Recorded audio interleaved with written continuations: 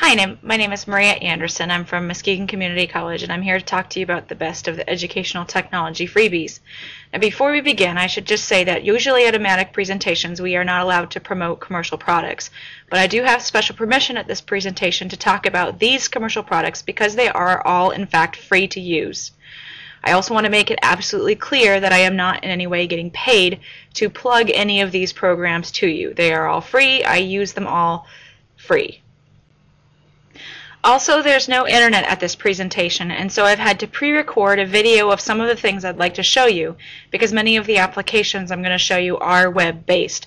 So what you'll see in the background is a pre-recorded video as I talk you through the applications.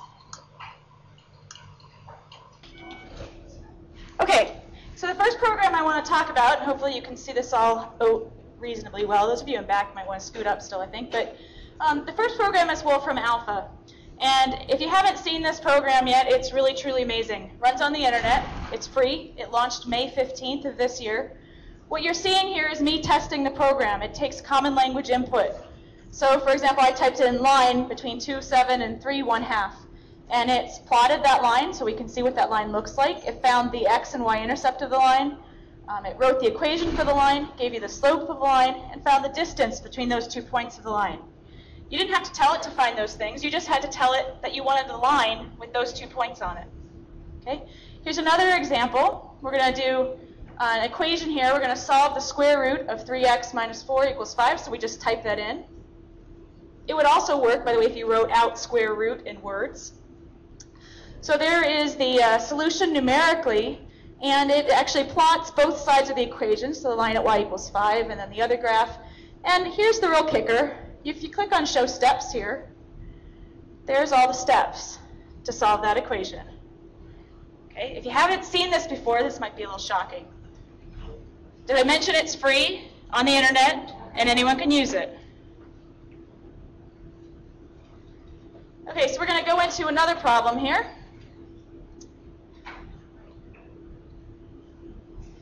And we're going to look at um, a rational expression 2x squared minus 2 divided by x squared minus 2x minus 8. Okay? Something we might look at in a pre-calculus class. I'm trying to show you some examples from different levels here. So we didn't tell it to do anything with that expression, right? We just gave it the expression. So here's what we get out. We get a plot of what that would look like if we interpret it as a function, so as a y equals that expression.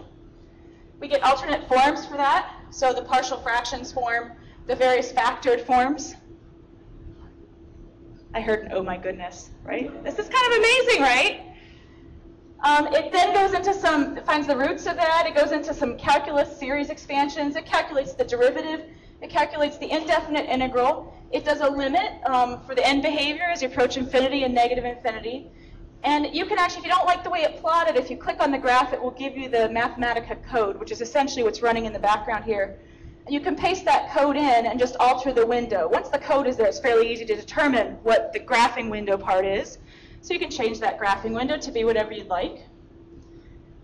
And just replot it, and you'll get uh, the plot that you desired. So that code is not something you have to learn yourself. You can just click on the graphs and get the code from that.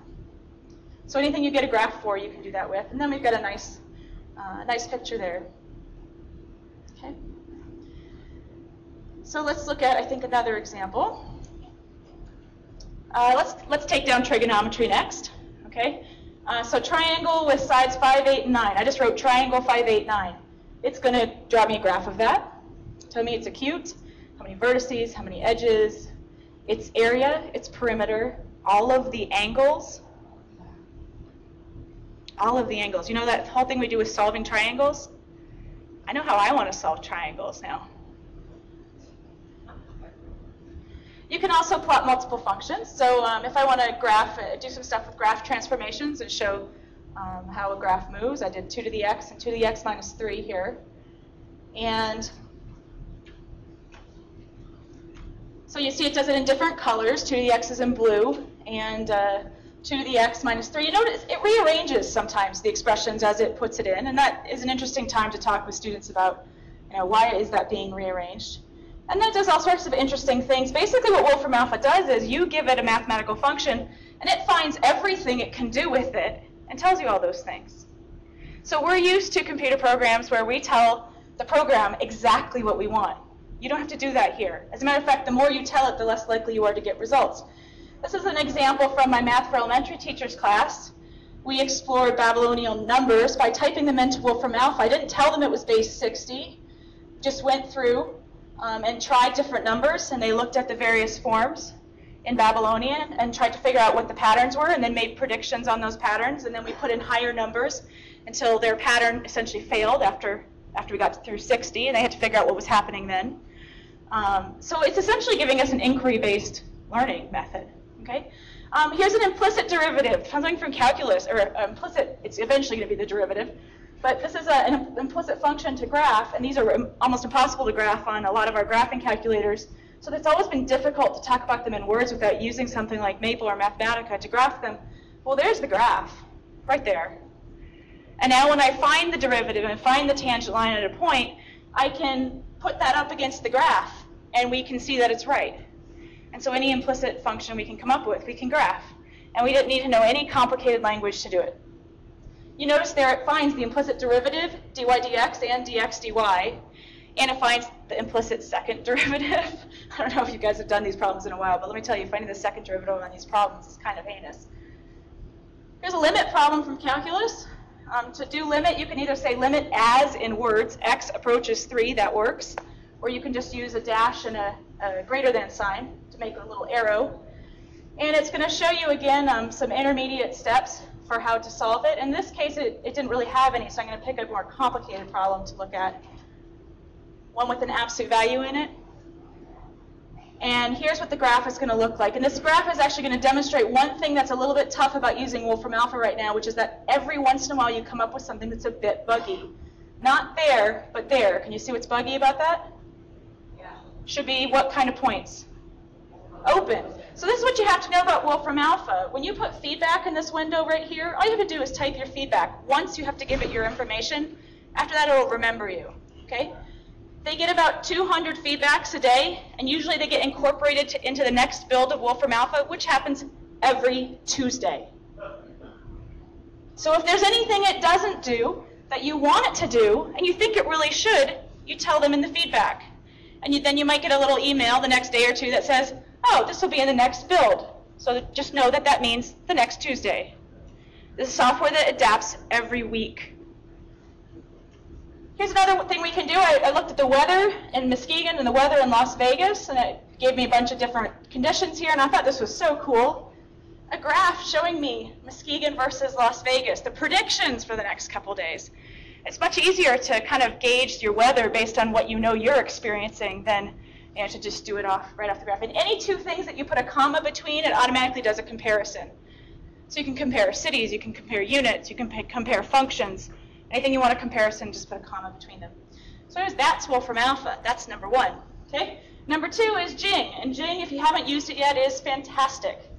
Okay, and we're going to actually use Jing with Wolfram Alpha here in a second. Jing is free. It works on Macs and PCs. It requires a download. You can install it on all of your campus computers. That little icon there that you see me kind of pulling off the screen, that's the Jing icon. It's the sun.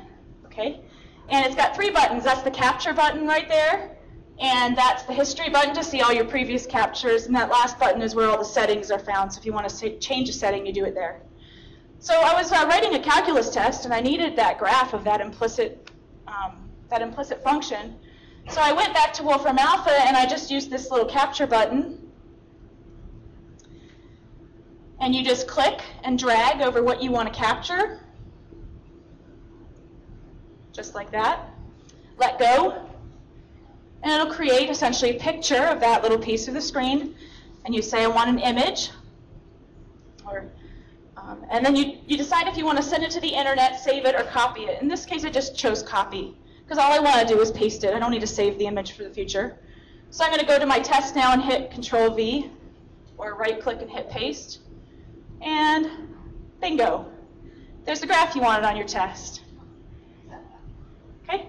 Here's another way I've used Jing recently. Um, my math for elementary teachers have to build mind maps of the concepts they're learning in class, and then I have to grade those mind maps, which is actually fairly difficult. I didn't quite think through all the implications of having them build this, But one of the things that I can do pretty easily is take screenshots or videos.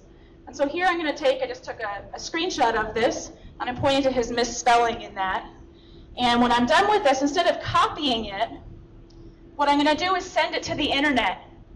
And it'll make a link for it, and then the email I send to Scott, who's a student in this, this here, um, I'll just send him the hyperlink. Okay, so we're not going to transfer any files. I'm not going to paste this into a document. Just watch my mouse here. That first button uploads it to the internet very quickly. It says it's been sent, and the link is ready to be pasted. So now I'm going to go to uh, my email here, say see screenshot, and just paste that link and send it to Scott. When Scott clicks on that link, here's what he'll see.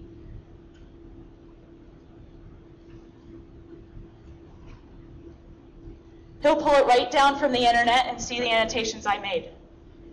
So again, no transferring of files. So no worrying about viruses, uh, nothing like that. Okay, here's another example I want to show you. Um, I'm going to uh, make a video here to show you just the complexity that's involved in some of these maps. I'll show you, I'll tell you how to make the maps in a little bit. Okay. And so I'm going to use Jing to make a video. You can make videos of up to five minutes in length. And so now I'm making a video of everything that you see in that box. It can record what you're saying, or you can turn the mic off. So you can do it either way. And so you'll see me just click through briefly a few things. And then I'll hit stop here in a second.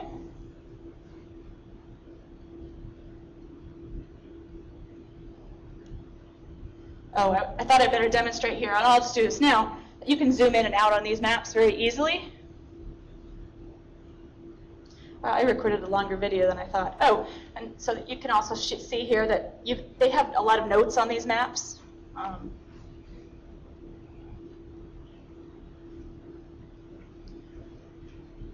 and now I'm going to stop this video. So this is a 46 second video.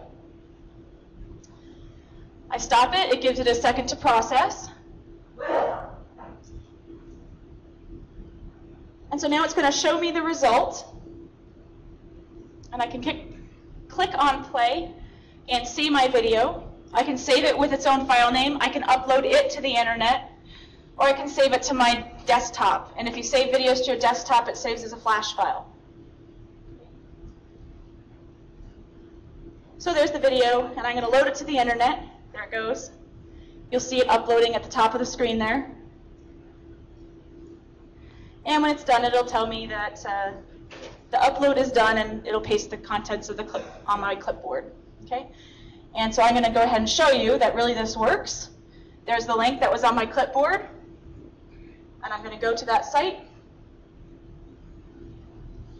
If you haven't thought through the implications of this, my students can do this too. So they can record their own videos to turn in. And they don't have to send me big files, they just have to send me the link. And I can put all those links on a, on a discussion board or a website, and they can see each other's presentations. So if you teach an online class and you want your students to present to each other, you can do it with this.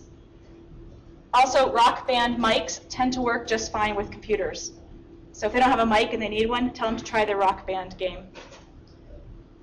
Here is actually a video recorded by a student. She was having trouble figuring out why this wouldn't work. Well, obviously I forgot to put in the link and she was trying to explain that to me and I was dense and didn't get it. So she made a little video to show me and just sent me the link. That's really powerful. Here's another um, student video right here. This is from our site we put up recently called How to Study for a Math Test. And this student did his presentation. Um, you can't hear his audio, but it's there. He did his presentation with Jing. So that was number two. Now on to number three. Okay, Mindomo is the mind mapping software I just showed you. Okay. And I want to just walk you through some various student projects. These are all student work, not mine. Okay. It's all they, all make it available on the internet, so you can actually go see their projects. Um, you can actually click to open up and close all of the levels with that um, functionality in the right-hand corner. And in the lower right-hand corner, you can zoom in and out. You can also click to move. You just pick up the screen and move it left to right. Just pick up anywhere where there's not any text. So what we're doing as an assignment is they have to take turns. Each, each uh, unit, a different group of people, does mind mapping. And they have to map out the unit we're learning. So all the different topics in it, some notes on those topics, and then they have to go to the resource, go to the internet and find their own resources to link to. So games they might find on the topic, or lesson plans on that topic, or help tutorials. So this is an example of a link that one of the students added on their map. And here's another one. Uh, that was a Yahoo link of some kind. And some of them will now start including um, Wolfram links, direct links to Wolfram Alpha. Like if they want to show a particular graph or something that's difficult to write mathematically, they go and do it in Wolfram Alpha and then just include the hyperlink. And it, it opens up the same thing they saw. Okay, so here's another mind map by another student, and I think I want to show you this one because she's got some really cool use of color in here. If we dive down far enough in here. And let's see. So she's got, you know, her notes in there, um, some lined up stuff for showing algorithms. And I'm looking. You can tell I'm trying to find this color thing I wanted to show you. Oh, here it is. Base 10. So she did base 10 in color, so she could show all the different uh, words that go with the place values, which I thought was very clever. I didn't teach her. I didn't teach them how to do any of this stuff. I just showed them how to use the mind mapping tool. After that, they figured out on their own how to say things they wanted to say. So here's a third example of student work with this.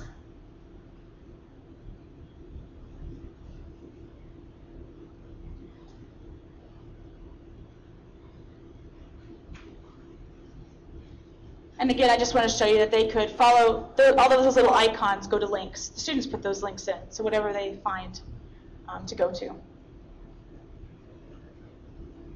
So that tool right there is also free to use um, for up to seven maps. So they can have seven maps, and after that, they have to decide whether they're either going to delete an old map or, or pay for a premium copy of this. But um, for most students, they only ever make one or two maps. But it's a really nice way to, to study, and I'll just give you a little an anecdote here. Um, one of my students was really hesitant to do this, and he did just a really great map for the unit. He got the highest grade on the test, and he said to me, I think I'm going to use these for the next test, even though I don't have to because he was just so pleased. And he made this map that was just incredibly detailed. Just to show you how detailed some of these maps get. This is one of my maps. It's a map that you can get to off my website. And that's about internet resources to use in the math classroom. Okay? So you can go explore this map on your own uh, later. It's got a collection of YouTube videos, collections of interactive materials, collections of open source materials, free programs that you can use on the internet, all sorts of stuff. This program is called Mindomo. This map is called Using the Internet to Spice Up Your Math Class. And I will show you at the end of the presentation how to um, find that map on my website. Actually, this map is in that collection of links that I gave you at the beginning of the presentation, and I will pull that back up at the end for those you came in late. Uh, here's an example of something off that map. Uh, this is Calculus Rhapsody. Anyone seen this lately? It is funny. Um, uh, but there's a whole bunch of other funny YouTube videos in there. And to add a new link, I just decided to add Calculus Rhapsody. I'm just showing you how to do it. You just click on hyperlink, you paste the link in, and you click add, and then the link is there. It's really easy to use. So there it is, all done. Okay. I'm also going to show you, I think, if I remember correctly, how to add notes onto this presentation. Um, so I'm going to go to something that I know I need to add a note on, like Science Friday here. Because people always think, Science Friday, that's not video. That's what? Who listens to Science Friday? It's not video, is it? It's audio. Except that it turns out that Science Friday actually has a great collection of video on their website. But who knew, right? So I think maybe I ought to um, add a note here that says, believe it or not, Science Friday does really have video. They also have links to all of their archives of audio for the last, I think, four years. So you can go to Science Friday and get free stuff and, uh, and link to it directly from your classes. And they have a whole section on math in their topics list. So that's really cool. But that's how you add a note. That isn't hard either. And you save your map before you're done. That was number three. Now we go to four and five.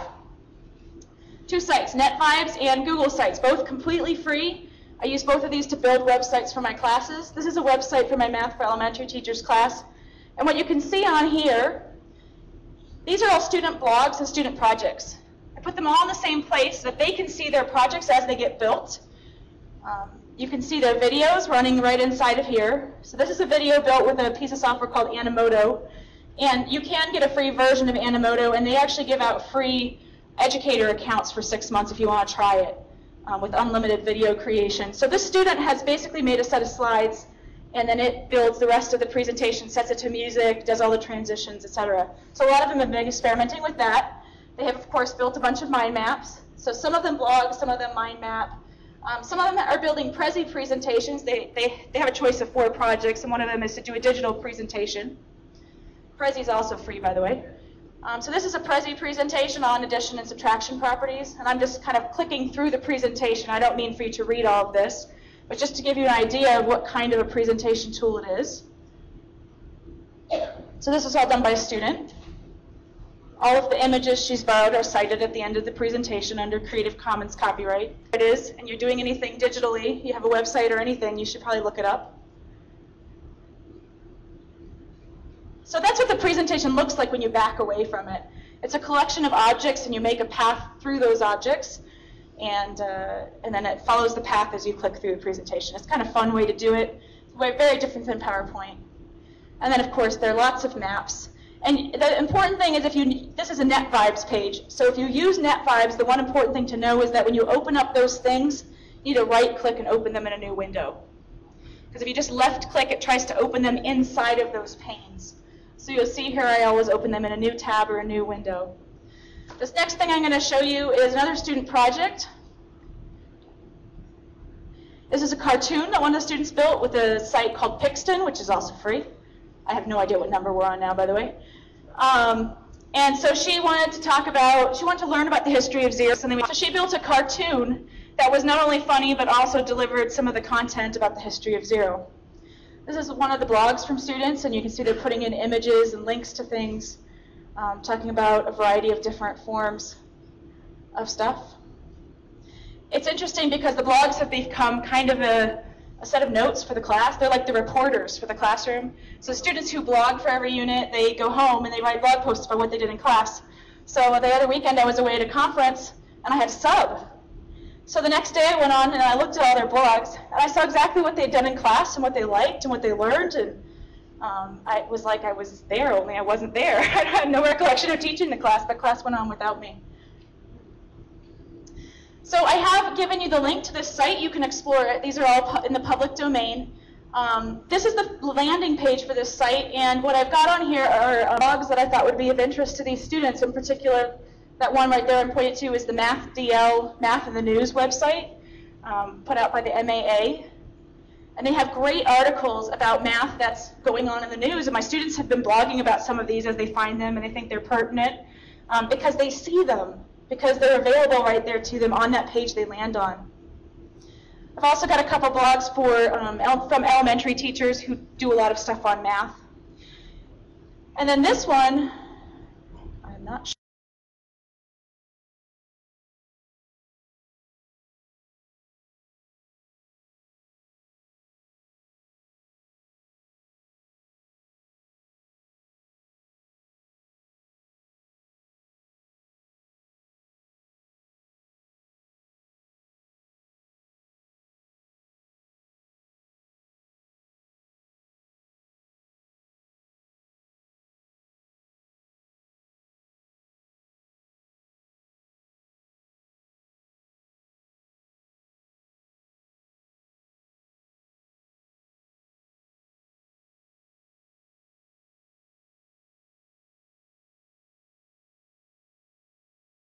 Same thing.